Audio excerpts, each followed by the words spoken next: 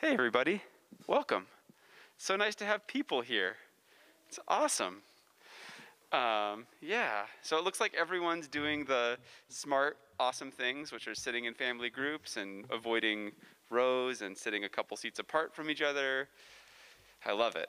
Um, if you are family groups, feel free to just like give each other hugs and breathe into each other's space and all that, right? Okay, awesome. Um, so we're really excited to play some music for you guys tonight. Uh, the first half of the concert is going to be our small group. Uh, our cham- we call it our chamber jazz group. They've been working hard on tunes all semester. In past years, we've got to play out on the town, usually multiple times in the semester. We play at Twin Beans Coffee a lot, and that's really fun, and we've been missing that, so tonight's our chance to have a little bit of an outlet. Um, we're going to start with a tune called Last First, uh, written by a fantastic bass player named Gary Peacock, who I just learned was born in Burley, Idaho, which is cool. He also just died, which is really sad. Um, and he's, he's part of a fant- he wasn't, he wasn't even that old, probably like 70 or something. Um, and he was part of a great trio, one of my favorite pianists, Keith Jarrett. But anyways, uh, we're gonna play this, this fun song. It's gonna feature uh, almost everybody in the band. So it's a great, a great intro.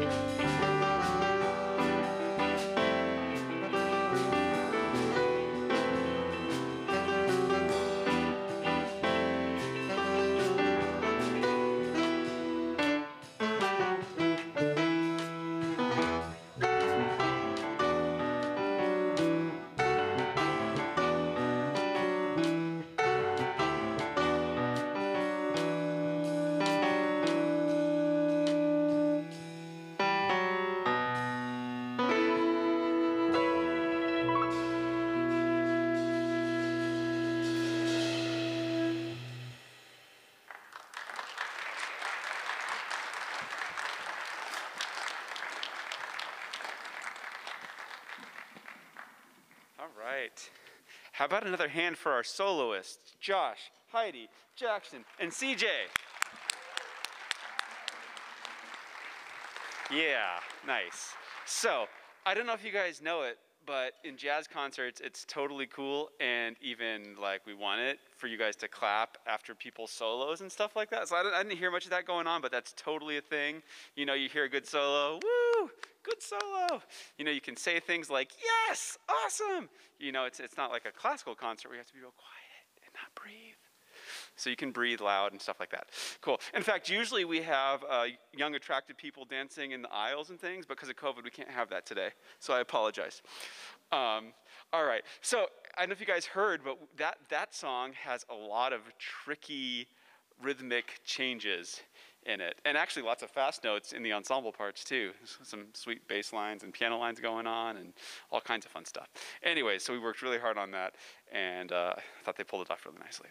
Okay, so next song is a uh, old bebop era tune um, called Lady Bird and um, and we're going to feature some of our soloists, and this time we're also going to feature our drummer on his own extended drum solo. So that should be great.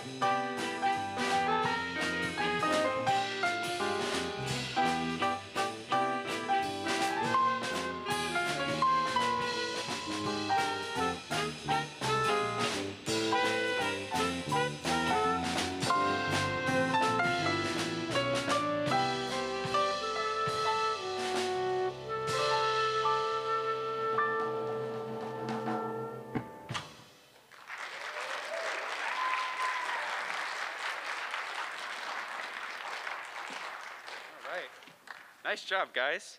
So, at the at, towards the end of the semester here, we've given our uh, our pianist, bassist, and drummer a chance to interact as a trio, which is a slightly different setting and can feel a little more like you're a little more exposed, right? Like you have to be a little more independent, have to be a little bit of a stronger player without the extra support of the other players.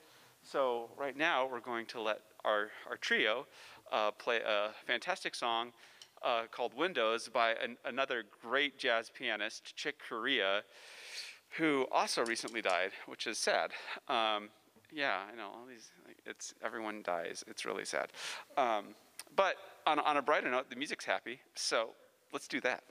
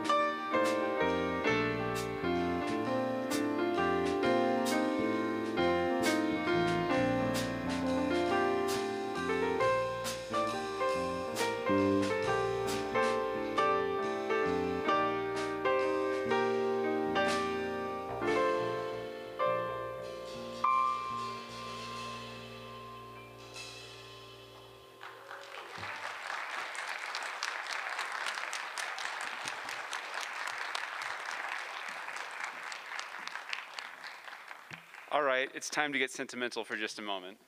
This is Josh's last concert with us. Yeah, he's graduating. He's going to go do something big and great, like go to a different college or something. it's going to be awesome. And I got to work with Josh since he started, like, since he started playing with us before he even came here. It was when he was like in high school. And I got to start him I got to see him start as a little jazz baby and grow and grow into the awesome soloist and jazz pianist he is now. And I just want to say I'm really proud of him. All right.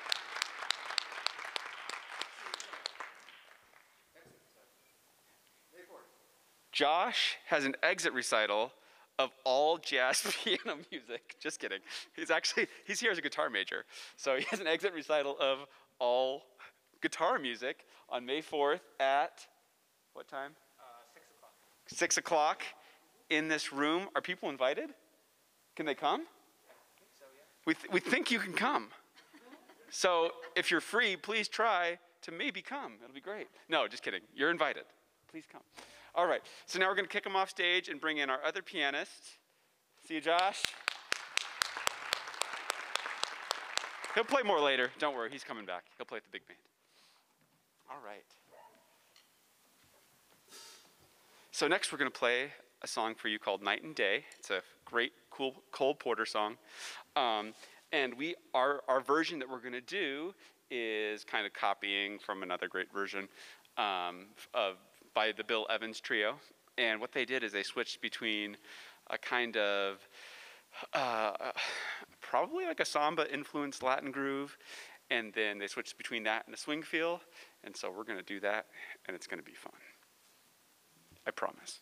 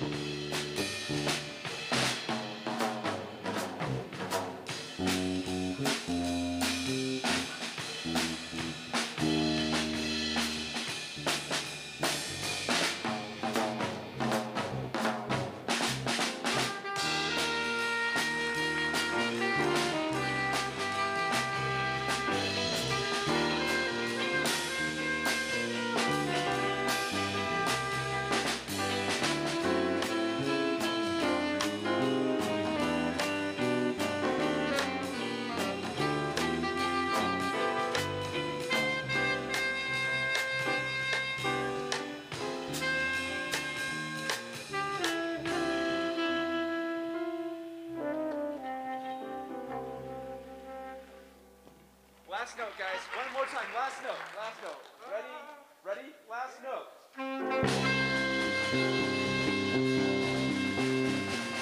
Ah. There we go. There we go. There's actually a big elaborate ending on there that has like 37 different chords and they're really hard and everyone has to coordinate. So we'll just, you know, we just did the last one for you guys. All right. Uh, next, let's play a great song called Four. Does that sound good? Yes. Yeah. This is a really fun one. Roy worked really hard on the drum intro. It's going to be awesome. Elias worked hard on the solo break. Listen for that. It's going to be great.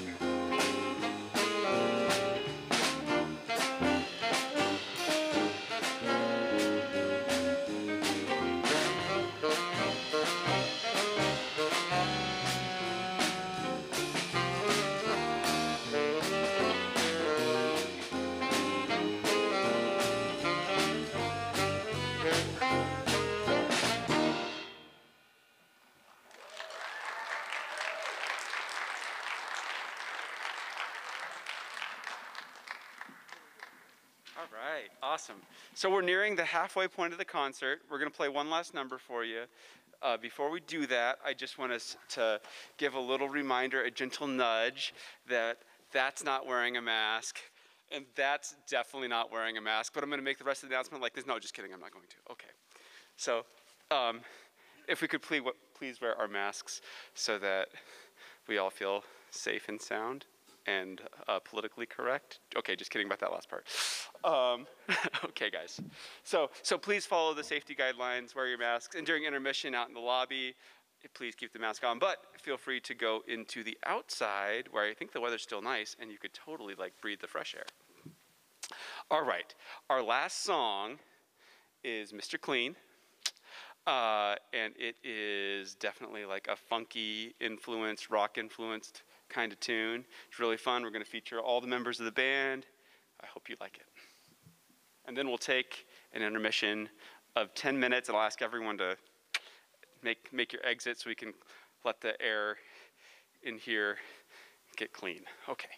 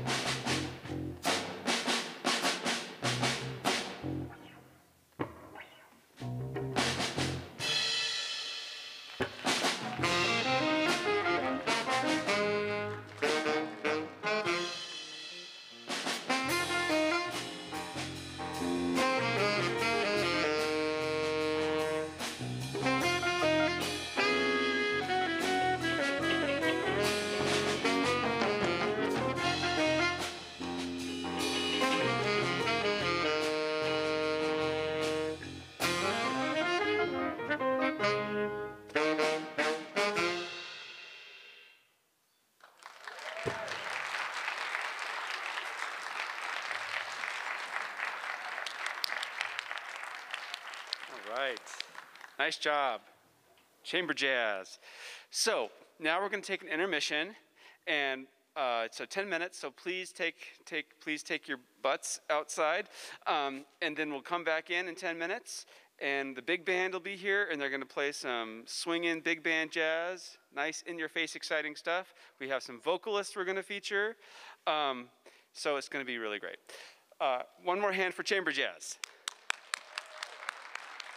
Heidi, Jackson, Roy, CJ, Elias, and Josh someplace.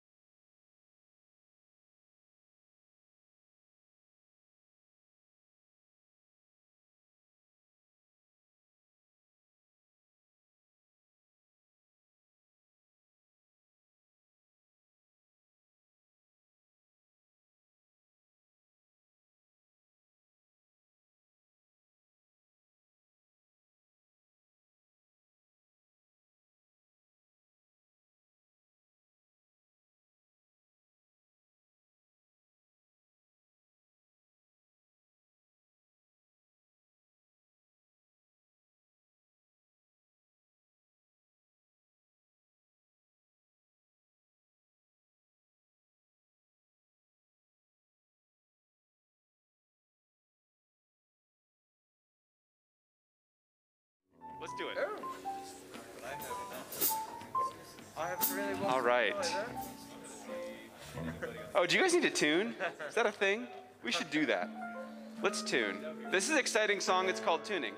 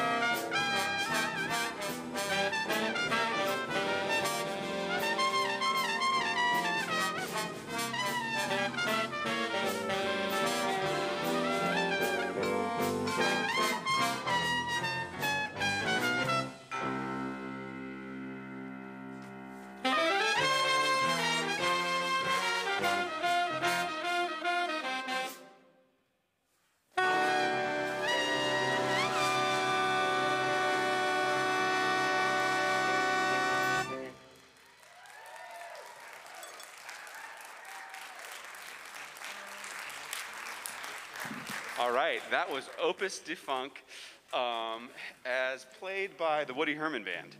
Great arrangement. And uh, we had lots of awesome soloists. Let's see, Jerem on tenor, Chris on bari sax, Mark on trombone, and Rick on trumpet. And Josh on piano. All right.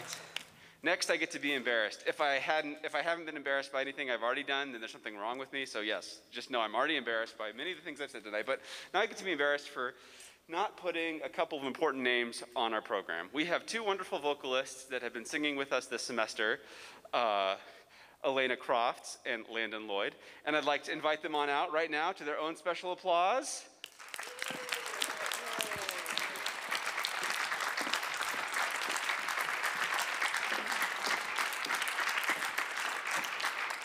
Little bit longer. I'm just kidding. Okay, I think that helps them feel better that they're not on the program. I'm so sorry.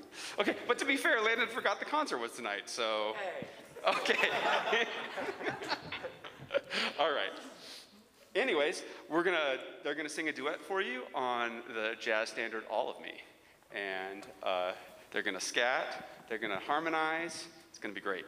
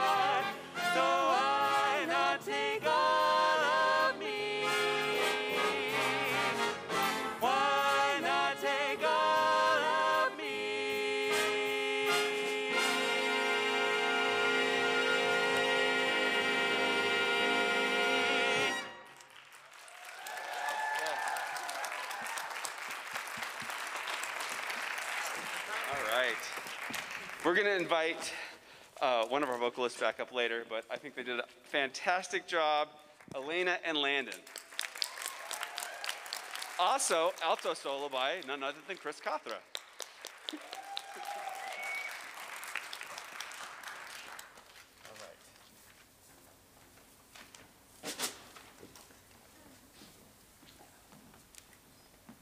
So this semester I had the learning experience of teaching some jazz drums. And when I say teaching, it's really like co-learning.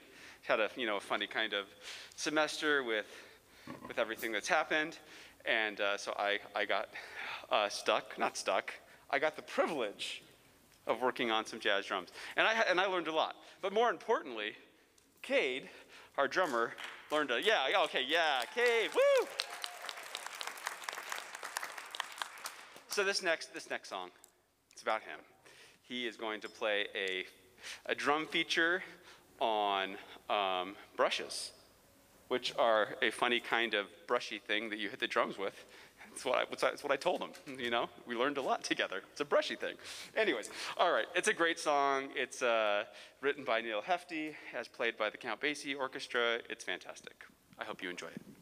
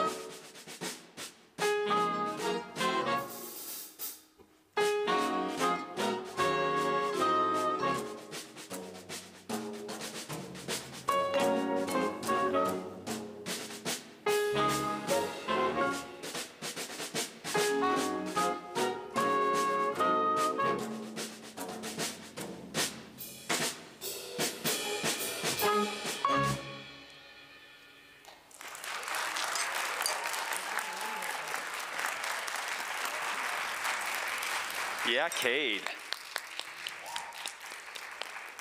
Awesome job. All right.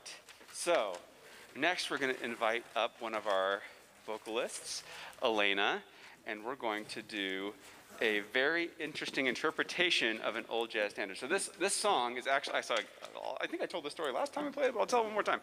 I never liked this song very much. I'm going to be honest. Always seemed a little cliche, a little corny. You know, I didn't want to do it. And Elena was like, "Let's try this one." And I was like, okay, let's do it. Anyways, we, we played it, and it's like, oh, this arrangement is so killer. It, it, has, it has swing, it has Latin, it has funk, it's got like everything. So, and Elena does an awesome job with it. Uh, we're also going to feature Chris again on alto saxophone and Rick on trumpet. Am I missing anybody? I mean, it's really also a rhythm section feature. They've got a lot of cool stuff going on here, and the piano, drums, and bass. It's pretty cool. So here we go. It don't mean a thing if it ain't got that swing.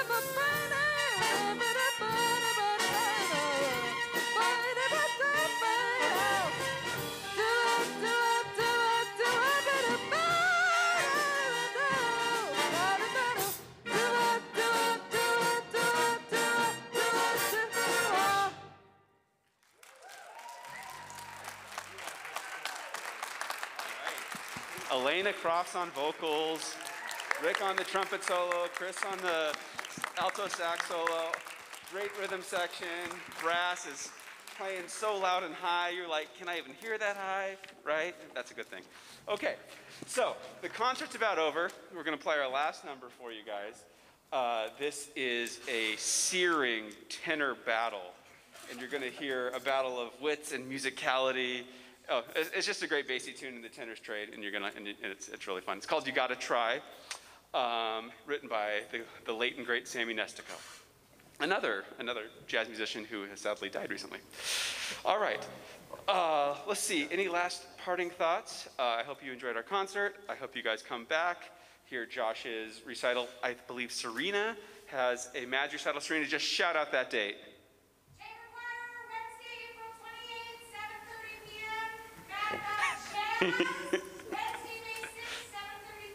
Yeah, two awesome concerts. You should come. It's going to be great. All right. Um, so speaking of great, we're going to finish out with this great song. You're going to love it. Here we go.